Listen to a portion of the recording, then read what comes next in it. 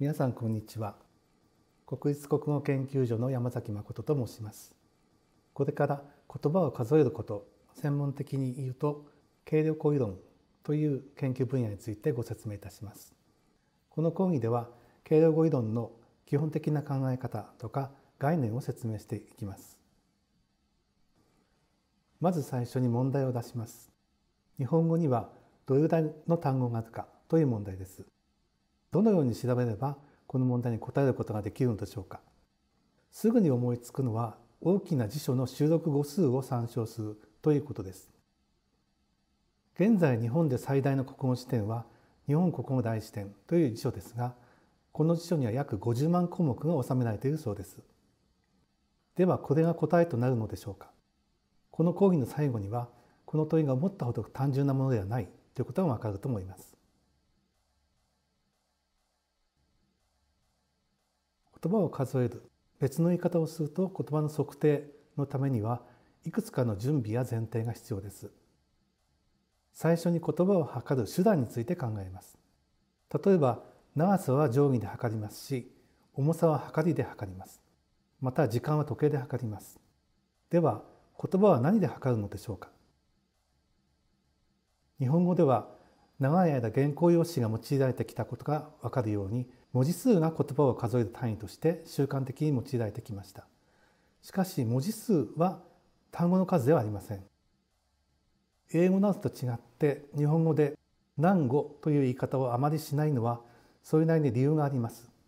それは語数を数える基準がはっきり定まっていないということです。言葉の測定のために必要なものとして測る側と測られる側について明らかにしておかなければならないことがあります。測る側としてはどのような基準を用いてどういう手順で測るのかということが重要です。測られる側はその対象の範囲を明確にしておくことが重要となってきます。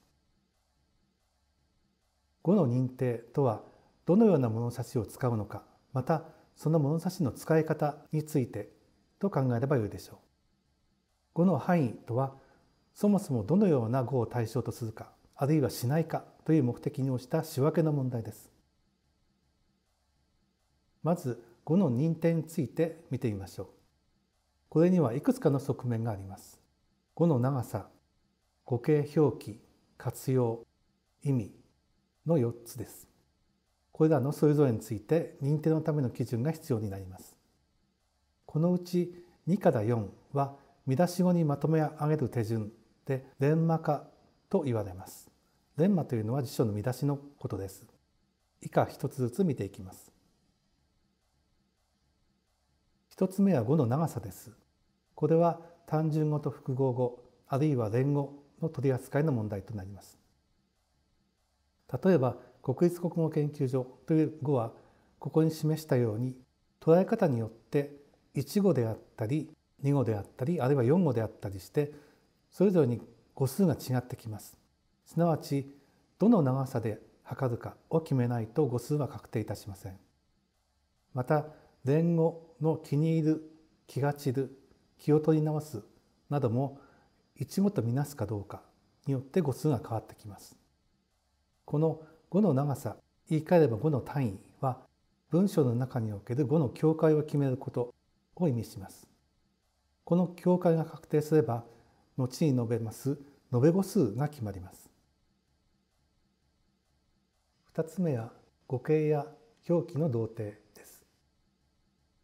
例えば難しいと難しい、インクと陰気、これらは同じ語とみなしてよいでしょうか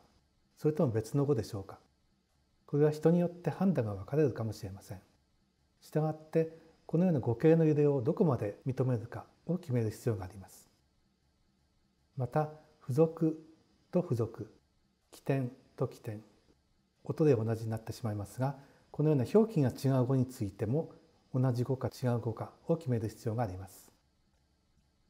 3つ目は活用です。例えば動詞の活用上がる上がり上がれなどは同じ語とみなすことが一般的です。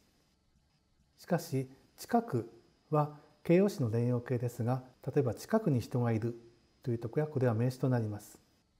またよくも形容詞の連用形ですがよくあることのように表現すると副詞と考えられます。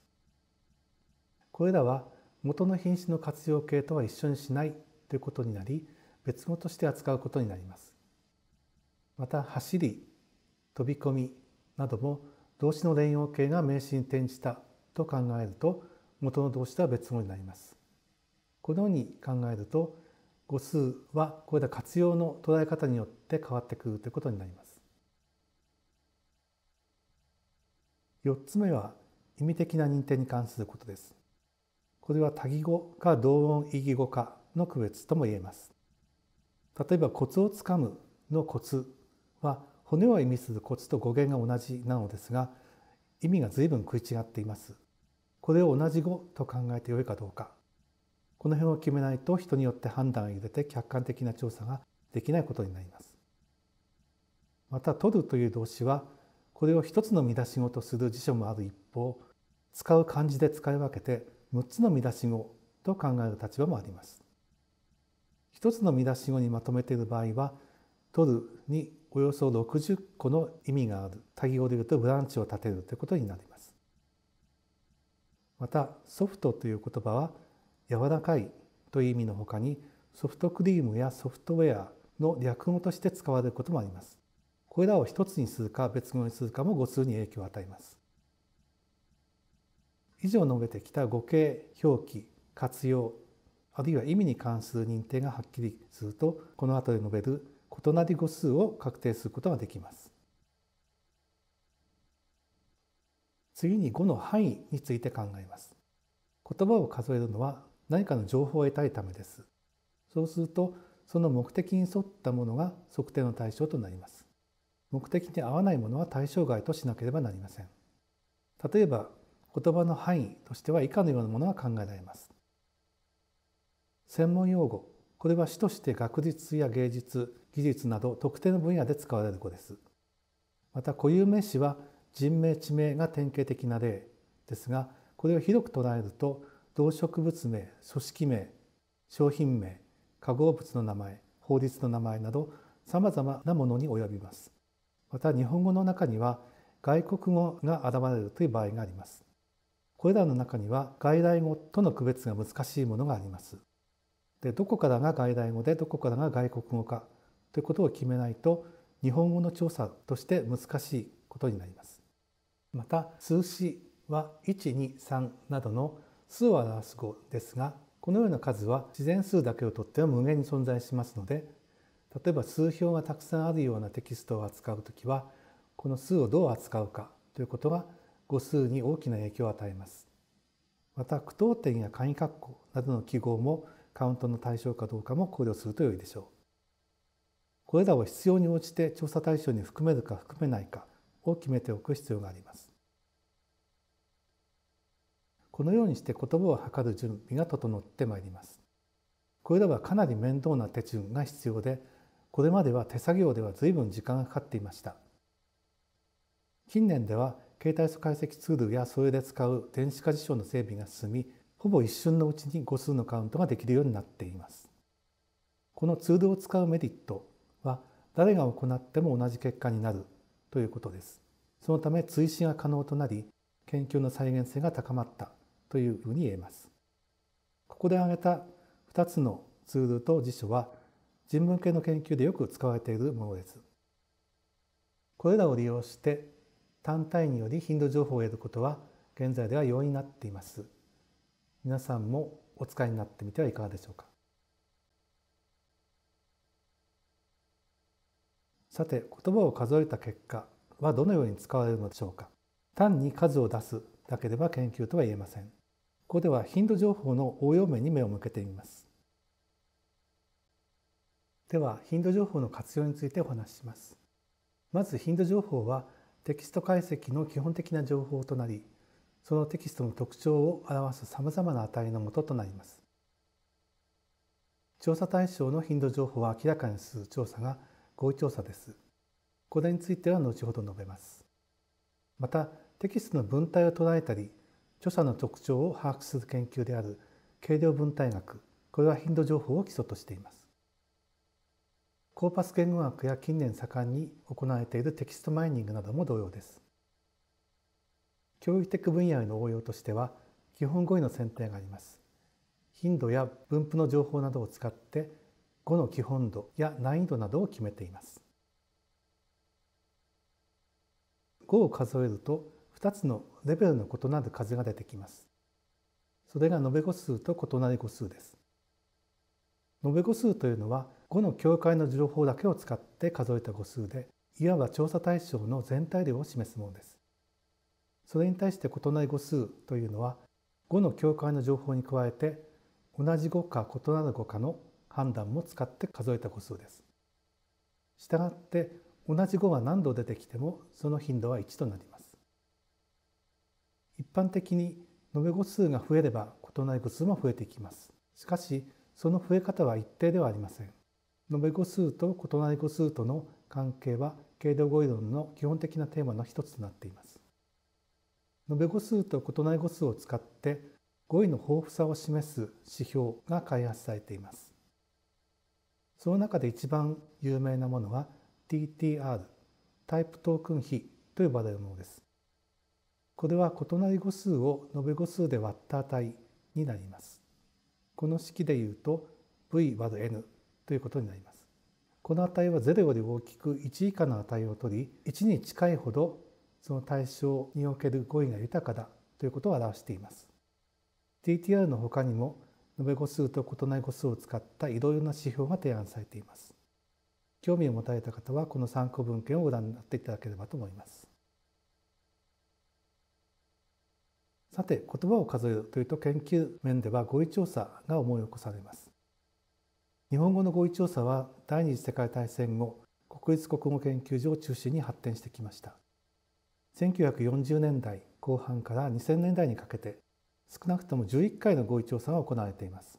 中でも評価が高いのは、現代雑誌90種の用語用字調査です。この調査は1956年に発行された雑誌から90のタイトルを選び、サンプリング調査によって得た延べ53万語、異なり約4万語をデータとして調査分析を行ったものです。現在の感覚でいうと50万語程度のデータというのはかなり小さいサイズと感じられるでしょう。しかし当時の手作業による合意調査ではこれでも相当な年月を要しました。これは1962年に出版された報告書の一部で合意表が示されています。ここでは相対頻度である使用率が示されています。表の中の1層2層というのは雑誌のジャンルを意味しています。この調査の学術的な意義としては合意調査の方法論を確立させたことが挙げられます。先に述べたような語の長さすなわち調査単位の設計や電マ化の手順を数学的な理論を使って整理しました。これには担当者の一人であった水谷静夫の才能が存分に生かされています。また本調査は基本語彙の選定の資料となったり同時に行われた漢字頻度調査の結果が1981年に制定された常用漢字の選定資料の一つとして利用されたことも特筆できるでしょう。次に語彙の頻度情報から明らかになることとして語彙の量的構成について説明します。日本語研究では品詞の割合あるいは語詞の割合がよく分析に用いられていますのでここでも品詞と語種について説明します。比較のために書き言葉と話し言葉のコーパスをデータとします。書き言葉は現代日本語書き言葉均衡コーパス話し言葉は日本語日常会話コーパスのモニター公開版を使います。調査単位はいずれも単単位です。最初に品詞の割合を見てみます。延べ語数では書き言葉において助詞と名詞が多いことがわかります。一方話し言葉では名詞の割合が低下し感動詞副詞助動詞の割合が増えています。一方異なり語数では書き言葉話し言葉ともに名詞が圧倒的に多いのですが話し言葉では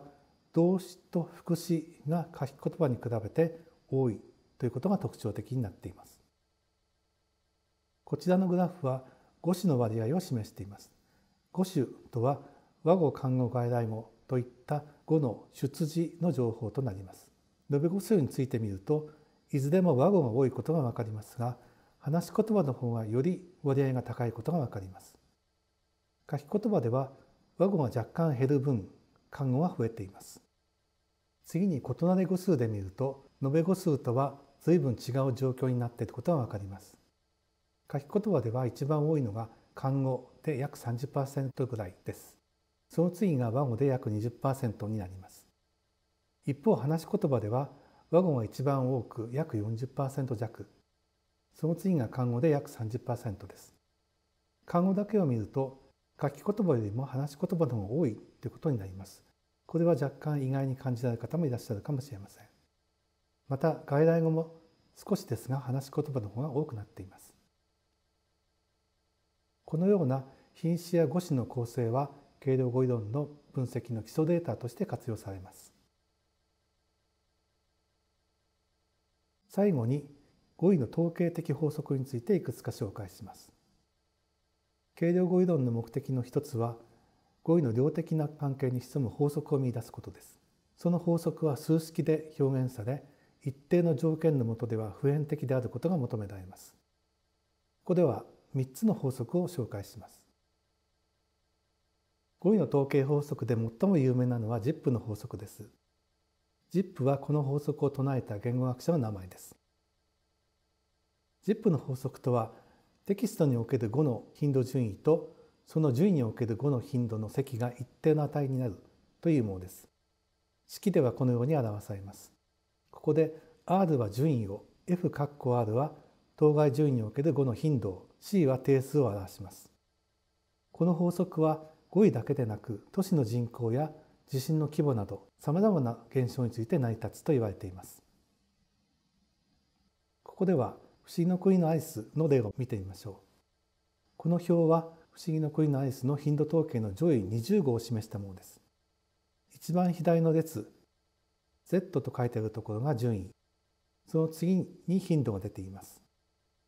これを掛け合わせると例えば順位1では1631順位2では1732順位20では3580になります。もう少し分かりやすくヒストグラムにしていました。先ほどのランクと頻度を掛け合わせた値の分布はこの図のようになります。一つの値に集中しているとも言えますがそこから外れるものも多いようです。これはモデルへの当てはめが若干悪いということが言えます。そこで ZIP の法則にはさまざまな修正式が提案されています。ZIP の法則は日本では研究が下火になっていますが海外特にヨーロッパでは軽量言語学の主要なテーマとして今でも研究が盛んに行われています。次に日本語の例について見てみましょう。これは樺島の法則と呼ばれるものです。樺島の法則とは延べ語数で見た場合の品詞あるいは品詞類の割合がテキストのジャンルによって異なるということを明らかにした経験則です。樺島はこの図を使って品種の割合には文章の種類によって差があるだけでなくその差が規則性を示していることを示しました。なお樺島は品種をその機能によって大きく4つに分類しています。この論文は1954年に発表されましたが翌年モデルとなる数式が示されました。こちらは1979年の樺島の著作に示されている図です。ここでは X 軸が名詞 N の比率になっており名詞の比率に従って他の品詞類の割合がどのように変化するかをグラフと数式で示しています。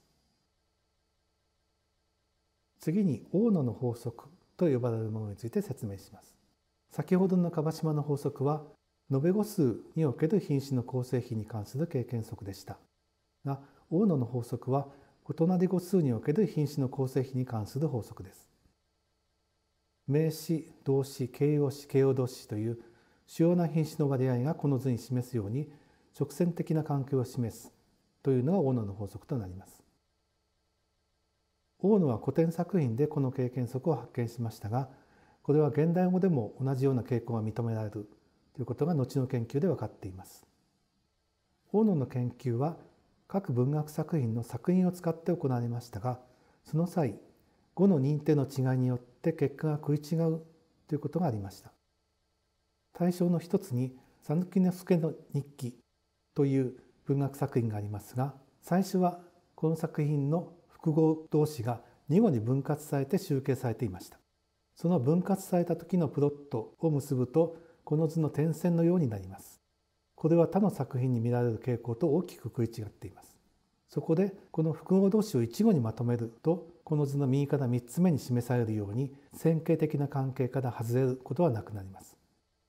このことからも語の認定方法が統一されているということが重要であることがわかります。最後に計量語彙論の目的についてお話しします。計量語彙論という研究分野は語を数えることを出発点として成り立つ研究分野です。主に頻度情報を用いた分析を主眼とする定量的な研究といえます。これは言葉の個性を扱う定性的な研究とは一見関係がないように見えます。しかしこの量と質の差は絶対的なものではありません。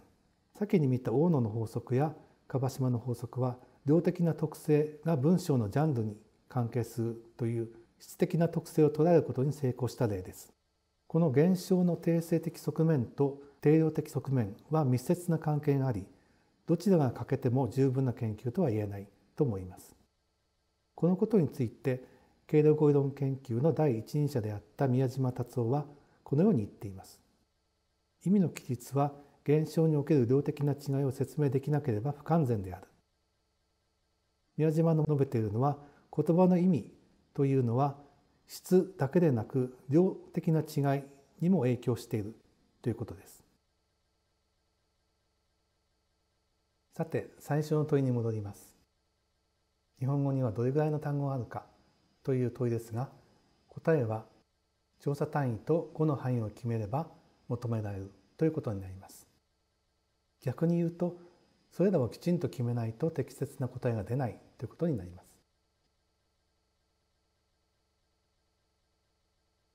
以上のことをまとめるとこのような要点が言えると思います。言葉を数えるにはさまざまな決め事が必要です。そこから得られた頻度情報を利用して調査対象の量的な分析が可能になっていきます。ただし量的な分析だけではダメでそこから質的な研究を目指すということが重要となります。この講義で説明したことは計量語彙論の本の入り口のような内容にすぎません。興味を持たれた方はこれをきっかけにより専門的な内容の理解に進まれることを期待します。ここに挙げたのは参考文献です。もし興味があればご覧になってください。それでは講義を終わります。ご清聴ありがとうございました。